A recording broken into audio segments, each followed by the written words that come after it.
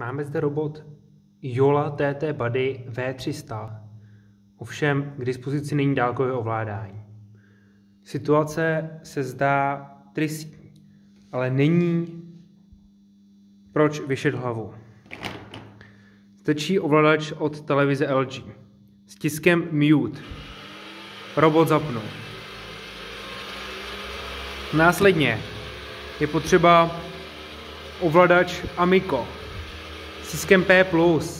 Člověk dá pauzu, aby tam mohl vložit míčky. Následně opět na televizi LG nastaví rychlost.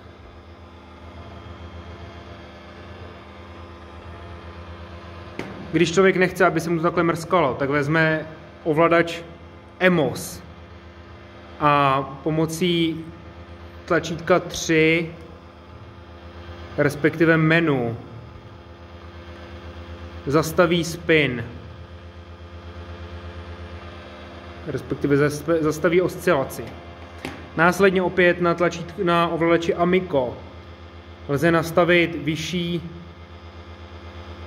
rychlost rotace.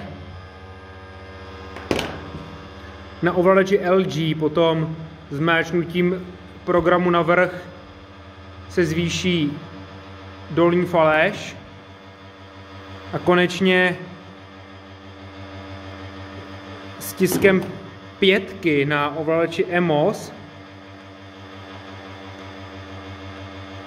ne, pětky na ovladači Amico